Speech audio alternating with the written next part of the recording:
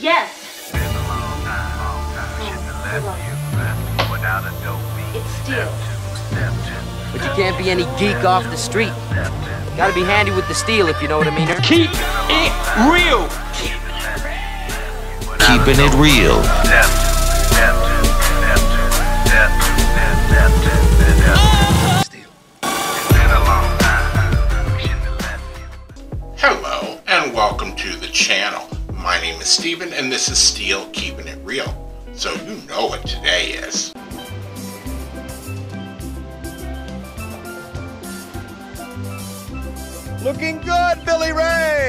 That's right, it is Yacht Rock Wednesday, and on this day, I like to feature adult contemporary hits from the 60s, 70s, 80s, 90s, 2000s. eh, I'm not sure, but they're normally of a Caucasian persuasion. So the next song that I am doing is from 1974. Twelve seconds later. Four. Silly rabbit. Tricks are for kids. The song is from 1974. And this is Neil Sedaka's Laughter in the Rain. Now, for some reason, you know, imagine uh, a five year old me hearing this song when it came out. And this song just kind of brings a little bit of joy just in the way that the music is arranged. Now, of course, a five year old me doesn't understand really the subject matter, but even an older me now looking back at it finds nothing offensive about the subject matter. Now, I did look into other versions of this, like Johnny Mathis did a version of this a year later, and uh, then a group called Vitamin E did a disco version of this song in 1977 and I listened to both versions. Mathis, eh, he was okay, but the Vitamin E version, Boo! Boo! Boo! Muck! Boo! Boo! yeah, just because you disco it up or you know make it sound sultry or whatever which there's nothing sultry really about this song.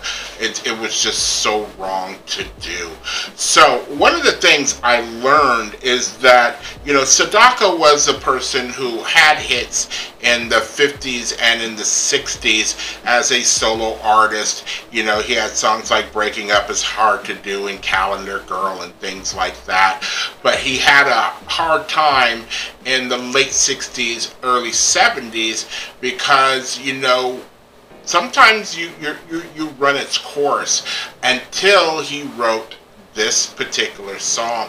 He wrote the music, but he has a partner that he's been writing with uh, for years. I believe his name is called Cody. Cody. Phil Cody.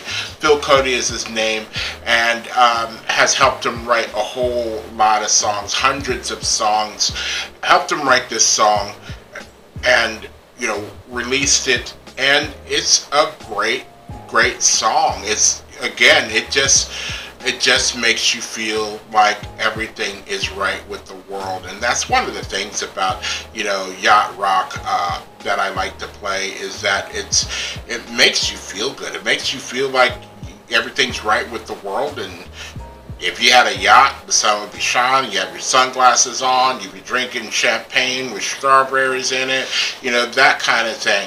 So, um, you know, they're just feel good songs. Now, let's take a look at what this song did on the charts and Balamo.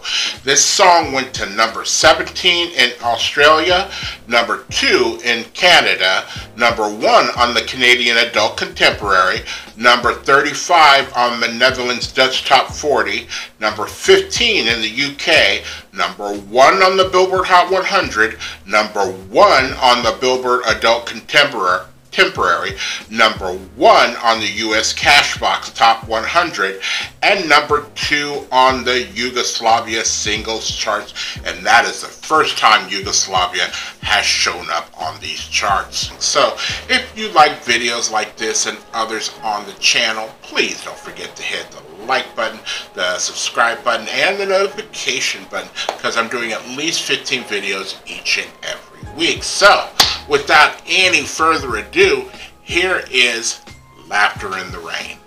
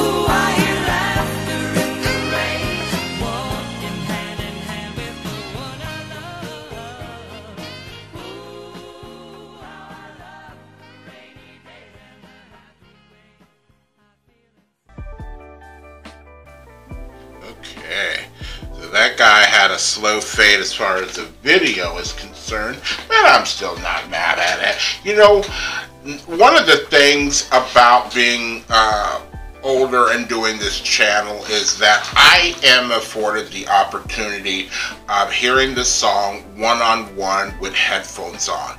And I will tell you, um, phonically and uh, the production on this song it's great. It sounds lush, especially the harmonies on the chorus. And you know, when that actually comes in, you actually feel that rush of joy, you know, come into your life, and you just feel all happy inside, as the song suggests. Um, you know, his voice for this particular song just works perfectly. Because, I, like I said, I heard the Johnny Mathis version.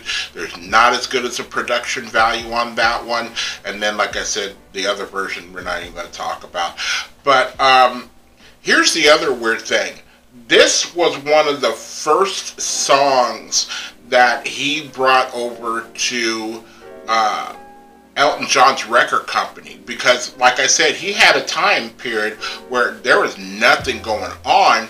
Uh, Elton John and Sedaka met at a party in 1973 when John learned Sedaka had no American record label. He suggests Sedaka sign with his Rocket Record Company Limited, and Sedaka accepted the prop pro- proposition. Uh, when John visited Sedaka at his London apartment, they discussed plans for relaunching his career in the United States.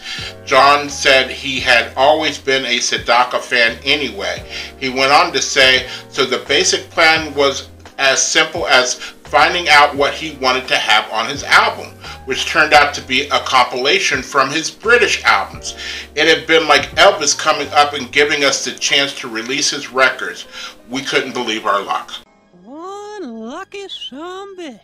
And, you know, the rest is kind of like history because, you know, when you saw a clip of the video, or, or I think the way this uh, it starts off, it says Sedaka's greatest hits 1974 to 1980.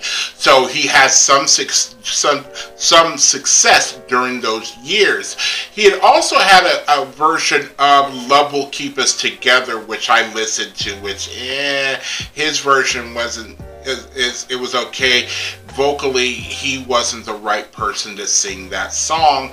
It was perfect for Captain and Tennille and what they brought to the table and their produ- their production value that Captain Tennille had at the time, and that became a number one hit. So that also happens during that time frame as well. So Neil Sedaka, I think is you know for especially for maybe my generation or the generation that comes after me is somebody who is very unsung. But if you, if I see all these other reactors who are reacting to songs, you know, react to some Neil Sedaka, whether it be from the 50s, 60s, 70s, you know, react to some Neil Sedaka. I think he deserves more play. If you are still here, I thank you very much for staying tuned. I really do appreciate it. First and foremost, I want you guys to like the videos as much as I like making them for you. After that, all you need to do to help me out with the channel is to like, subscribe, share, and comment. Peace.